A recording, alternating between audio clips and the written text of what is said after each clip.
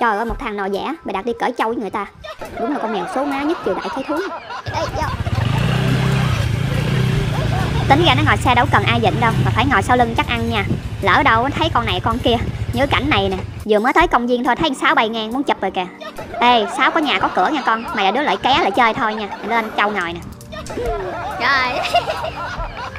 Cứ tưởng đâu nó sẽ ngại ngùng không thích ngồi lên con trâu Ai dè đặt cái đít lên rồi cái đuôi ngoe ngoẩy Kiểu như nhiệm vụ con trâu này là phải chở tao như vậy nè. Chưa thấy con mèo nào số má như con vẽ luôn đó trời. Trâu này ngộ hai cái da màu nâu hai cái sừng màu đen. Trời ơi con nó ngồi bà con ơi. Bình thường người ta ngồi lên lưng trâu là phải có người dịnh. Còn cái thằng này nó không cần ai dịnh luôn. Mà nó cứ xây cái hướng qua cái nhà của anh Sáu hoài. Sáu nhìn thấy nó la làng quá chợ la. Kiểu như lần đầu trong đời thấy một con mèo ta Người chở đi chơi mà còn dám ngồi lên lưng con trâu cởi nữa. Ngồi mấy anh Sáu la làng quá chợ la luôn.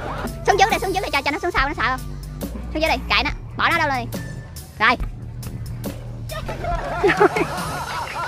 Cái tưởng không sợ ai già xây qua kiếm nha Ủa rồi cái thằng sau lưng tao nó mất tiêu rồi chạy Nhưng con mắt vẫn địa qua khu của con Sáu nha quý vị. Còn coi cái mỏ đỏ quét kìa. Ủa mà vô đây làm gì vậy? Ủa mà đâu phải cửa châu đâu mà vô uống cà phê mà mày. Ở đây là khu bãi dương tại gạch giá Kiên Giang nha quý vị. Chó lên cầu tổ thử rồi ê mày đừng có lên, đừng, đừng mày đừng có lên, mèo lên thôi. Phương nó nghĩ nó nhỏ lắm hay sao đứa thay giòn còn tổ thay gì trời. Con nít nhìn thấy vẻ là làng quá trời thôi đi vô. Chứ bảo vệ tới bụng nhắc ở đây có chó nhiều lắm nha con Nhớ giữ mèo cẩn thận. Đúng chó nhiều thiệt. Biết sao này bước vô đây không? Comment của một số người. Cái tuổi con dễ là tuổi ăn tuổi chơi tập làm quen với xe cộ ngoài đường đâu Mà không có cho con nhỏ đi chơi cứ để trong nhà hoài. Hôm nay tôi bỏ nguyên một ngày chở nó đi chơi. Có tất cả ba người tháp tùng theo nó. Một người chở tôi, thằng Phương chở con vẽ Phong cảnh mát mẻ thoáng đãng có để con vẽ trên bàn cũng không ai nói gì. Ngày xưa đi học chuyên gia cúp cua trốn vô đây uống cà phê nè. Ủa đang ngồi trên bàn tự nhiên cái nhảy xuống. Thấy người ta đi qua đi lại nó sợ người ta chú ý bắt cóc hay sao Phóng xuống ghế ngồi. Và khi xuống ghế rồi Cái gì cũng nhìn được hết trơn. Cây dù, cái lá cây cái ly cà phê cũng dòm được. Tôi mà cho nó ngồi ở đây tới chiều Nó ngắm cho tới chiều luôn. Không sao Bữa nay tao có đem thao cát Mày ngắm cảnh thoải mái đi. Ê ê mày ngắm cảnh chứ đừng có ngắm bồ câu nghe mày. Bồ câu có nhà có cửa nghe vẻ. Rồi cho con bồ câu có tuốt tuốt ở đằng sau nó nhìn tới. Thôi Dịnh dịnh dịnh ra Nè nè con. Ê cẩn thận nha. Có một con mèo ta đang đi cà phê nghe bồ câu.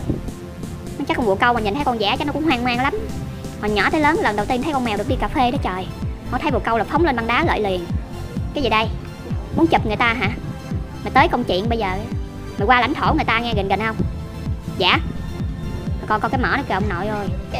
Mà con bồ câu thứ hai cũng đi cái đường này nữa. Ồ cái đường này là khu vực dành cho bồ câu đi nha. Gì Dắt mèo qua đây tụi nó khoái là phải rồi. Đây con này khôn nè. Cho nó đánh hơi được mùi mèo á bà con. Nó đưa con mắt nó ra dòm nó liếc con giả kìa. Còn cái con kia nó hơi bị ngu nha. Nó liếc liếc tìm hiểu là con giả có ý định làm gì nó không. Mà thấy không có ý định gì rồi bước qua bình thường. Còn giả cũng hiểu chuyện biết buộc câu bắt không được thôi nằm sải lai luôn. Cái ghế này nó cực kỳ thích. Tại cái chỗ dựa nó vừa với cái lưng con giả nha quý vị. Ồ đúng chuẩn một con mèo chuyên đi cà phê. Ồ, nhìn ra ngoài. Lâu lâu cứ nhìn thấy chim sẻ nè hải âu nè bồ câu nè đủ thứ loài động vật hết trơn. Đem nó ra đây nó rất là khoái, nhưng mình phải cảnh giác thiệt là nhiều nha. Lỡ quá nó xung nó phóng một cái. Rồi rồi, tới lúc nhiều chuyện rồi. Nghe người ta nói chuyện cười giỡn nhau nổi tướng thấy ghét không? À bữa nay quên bận đồ nữa rồi. Con này đi chơi mà không bận đồ. Mặc định, cái mặt du côn ví dụ có bận quần áo, người ta nhìn quần áo ờ con này còn dễ thương chứ không bận đồ, nhìn nó thấy ghê nhưng mà cái mùa này trời nóng chảy mỡ nó bận đồ vô mà nhìn nó thở khì khì tôi còn thấy khó chịu giùm nó nữa. Dạ. nữa đó người ta đi ngang đường mắt cho nó thấy ngộ dễ sợ luôn. Đây nguyên nhân tại sao thích cái quán cóc nè. Đâu hai cái ghế lại thẳng cái chân ra ngồi. Không có ai dòm ngó. Rồi cho thằng phương ngồi bà con coi. Đó gác cái chân lên. Ngồi vẽ nó ích kỷ dữ lắm. Ai mà gác cái chân nó hửi hửi nó cạp người ta nha. Người nào hiền hiền nó quýnh người ta còn thằng này dữ quá nó quýnh không có được. Rồi hai đứa quýnh lộn. Con vẽ hổ báo rồi đâu có nhượng bộ ai thằng này cũng nhây. Rồi, hai đứa chiến qua chiến lại. Không biết đứa nào thắng được con vẽ nó hơi ích kỷ người ta gác cái chân kéo xíu thôi là thấy ghê không? Chứ gặp tôi gác thì nó cho. Nhưng mà thể chân thằng này nó quá trời thúi đi. Không chấp nhận được. Nó nó nó đuổi ra. Mà cái lỗ mũi nó thở á nó hỉnh lên nó bà con. Kiểu như, mày thúi quá cút đi chỗ khác đi. Rồi, gặp thằng nó nó lay rồi. Có vẻ như vẽ để chịu nhượng bộ nha quý vị. Đây mà hửi kỹ là cũng không có đến nỗi thúi cho lắm. Rồi, bắt đầu. Bắt đầu bị nhiễm cái mùi thúi mới rồi hết đuổi rồi đó. Hên cắt móng tay của nó rồi đó. Chứ chưa cắt nãy giờ chắc mấy vết với nó rồi. Cái nó nhìn tôi kiểu như mép mà không làm được gì. Thôi chấp nhận cho nó gắt chừng, nhượng bộ nó một bước vậy. Nhưng cái thằng này nó quá lầy đi. Ê một hồi tao quạo tao cạp một cái nha. Đừng có trách tại sao tao ác này chưa? Trời trời đất ơi trời. Thì là tội nghiệp cho nồi dẻ, đi chơi vô cái vỏ toàn là phân. Và thêm hửi chân thúi thằng này nữa. Thôi để bù đắp cái sự nhiễm thúi cho dẻ, kêu phương ẩm dẻ đi vòng vòng xung quanh ngắm biển. Cho giải tỏa không khí nha biết vẽ sợ cá, không có cho vẽ ngắm cá, mà chỉ ngắm chiếc tàu xa xa thôi. Vẽ kiểu, đi chơi cái đầu mày. Ý là cái ao cạn cạn mà tao đã sợ rồi, nghĩ sao nó ẩm tao ra ngoài này vậy? Nó khôn nha, lấy móng tay nó quấu, nó bấm kiểu như điều khiển, thằng phương chở tao vô trong. Đi hướng này. Mà công nhận mới thấy con này nó sướng ha, người ta cởi voi, cởi ngựa, cởi lừa. Còn con này nó cởi trâu mà cởi luôn người nè, đưa cái mặt con vẽ xây qua, đây, cái quán mày đây là quán cảnh biển nha người nào có xuống gạch giá kiên giang nhớ ghé quán cảnh biển này nha. Cảnh vô cùng chiêu luôn.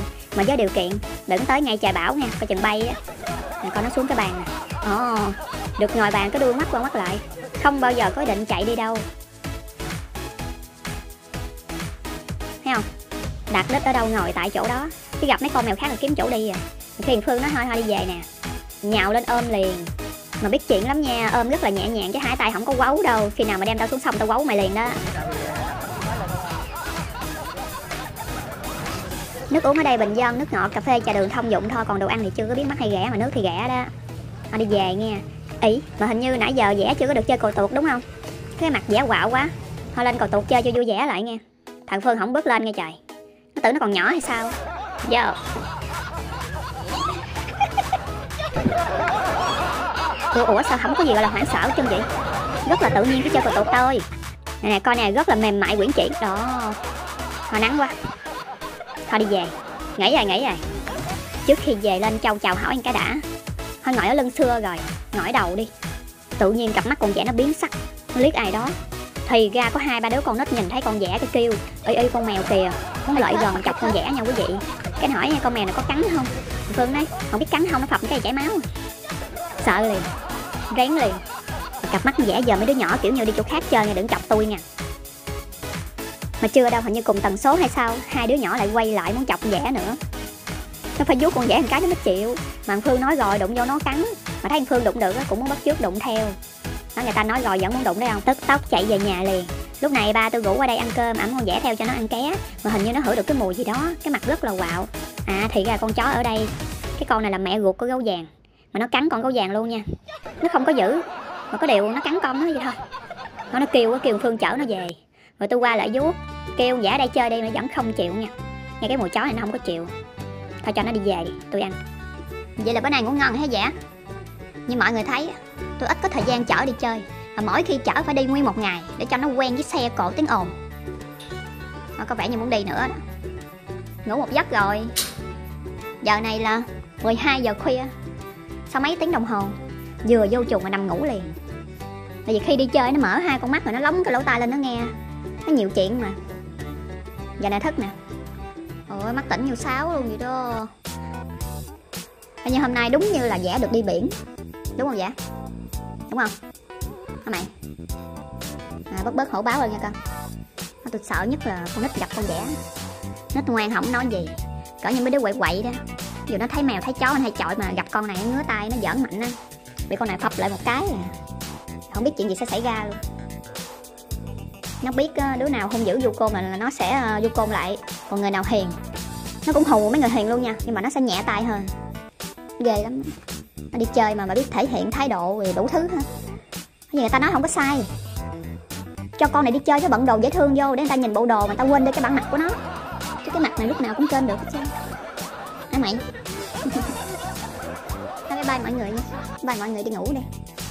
Coi kìa coi coi coi coi trời con cắt visa đi chơi mày bây giờ nha.